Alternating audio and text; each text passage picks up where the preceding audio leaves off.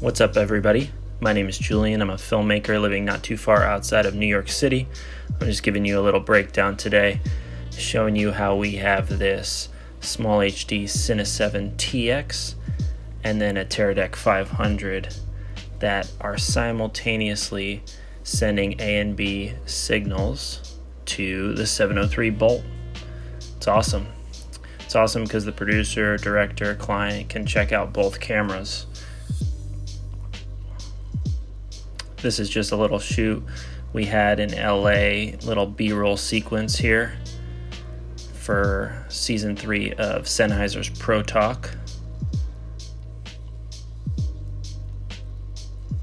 These monitors are so good, so freaking bright, so crystal clear. You can see here my buddy Jimmy, my buddy, client, producer, he's pumped. He's stoked. B roll sequence over.